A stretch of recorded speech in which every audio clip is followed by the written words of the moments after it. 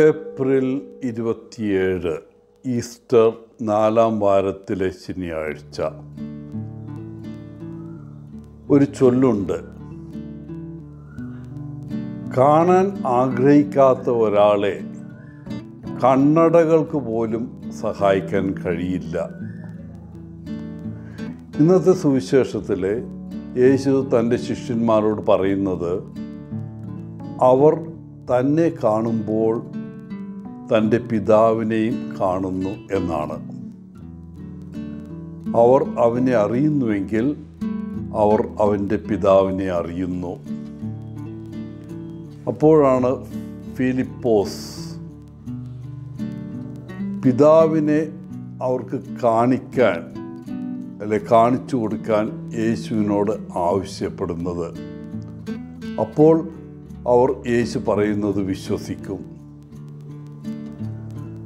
പീലിപ്പോസിന് തന്റെ വചനം വിശ്വസിക്കാൻ കഴിയാത്തതിൽ യേശു കടുത്ത നിരാശയിലാണ്. ഫിലിപ്പിന് തെളിവ് വേണം.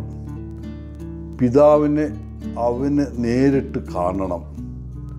യേശു ഫിലിപ്പോസിനെ നിശിതമായി ശാസിച്ചുകൊണ്ട് പറഞ്ഞു നീ വളരെ കാലമായി എന്നോടൊപ്പമുണ്ട്.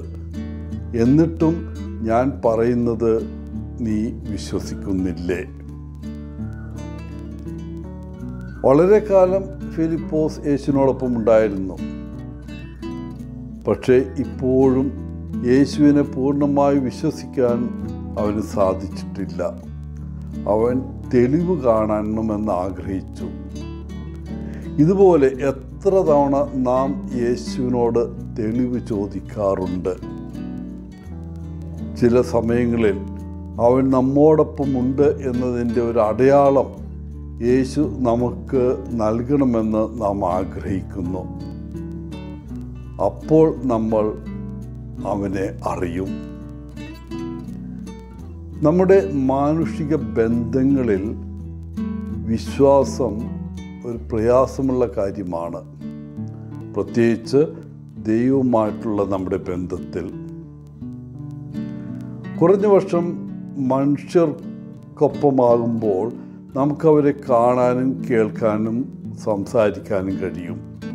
അവരുടെ മുഖഭാവങ്ങളും ശരീരഭാഷയും നാം കാണുന്നു.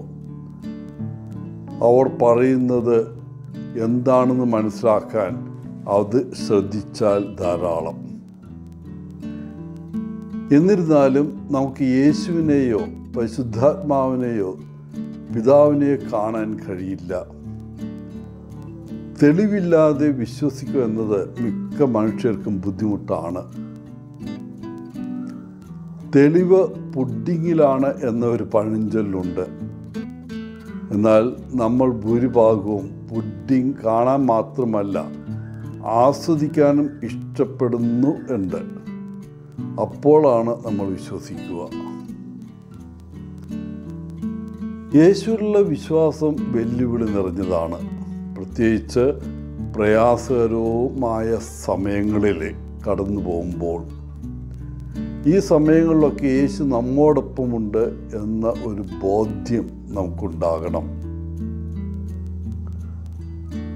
ഇന്നത്തെ സുവിശേഷ ഭാഗം യേശുവിന്റെ നാമത്തിലുള്ള ശക്തിയെ അടിവരയിട്ട് കാണിക്കുന്നു. അവന്റെ നാമത്തിൽ നാം ആവശ്യപ്പെടുന്നത് എന്തും ചെയ്തു തരുമെന്ന് അവിടുന്ന് വാഗ്ദാനം ചെയ്യുന്നു. ഇത് ഏതെങ്കിലും അഭ്യർത്ഥനയ്ക്കുള്ള ഒരു പിന്നെ കാട്ട് ബ്ലാഞ്ച് അല്ല. അതായത് എല്ലാം നമുക്ക് ഉടനടി സാധിച്ചു തരും എന്നല്ല. മറിച്ച് നമ്മുടെ ആഗ്രഹങ്ങളെ ദൈവഹിതവുമായി വിന്യസിക്കാനുള്ള ഒരു ആഹ്വാനമാണ്. നമ്മുടെ പ്രാർത്ഥനകൾ ദൈവിക ഉദ്ദേശ്യവുമായി സമന്വയിക്കുമ്പോൾ അവ ഭൂമിയിലെ അത്ഭുത പ്രവൃത്തികൾക്കുള്ള വഴികളായി മാറുന്നു. പ്രിയപ്പെട്ടവരെ ഇന്ന് നമുക്ക് യേശുവിനോട് അപേക്ഷിക്കാം. എല്ലാറ്റിനും ഉപരിയായി നമുക്ക് ആവശ്യമായതെല്ലാം അവിടുന്ന് നമുക്ക് സമ്മാനിക്കുമെന്ന് ഉറച്ചു വിശ്വസിക്കാം. യേശു എല്ലാ ദിവസവും ഓരോ നിമിഷവും നമ്മോടൊപ്പമുണ്ട്. എപ്പോഴും നമ്മെ ശക്തിപ്പെടുത്തുകയും നമുക്ക് ആവശ്യമുള്ള കൃപ നൽകുകയും ചെയ്യുന്നു. എന്നിരുന്നാലും നാം ഉണർന്നിരിക്കുകയും അവന്റെ സാന്നിധ്യത്തെക്കുറിച്ച് ജാഗ്രത പുലർത്തുകയും വേണം. അല്ലെങ്കിൽ നമുക്ക് അവനെ കാണാൻ സാധിച്ചെന്ന് വരില്ല. എല്ലാവർക്കും നല്ലൊരു ദിനം ആശംസിച്ചുകൊണ്ട് ഒത്തിരി സ്നേഹത്തോടെ Polachan C S S R from Kerala.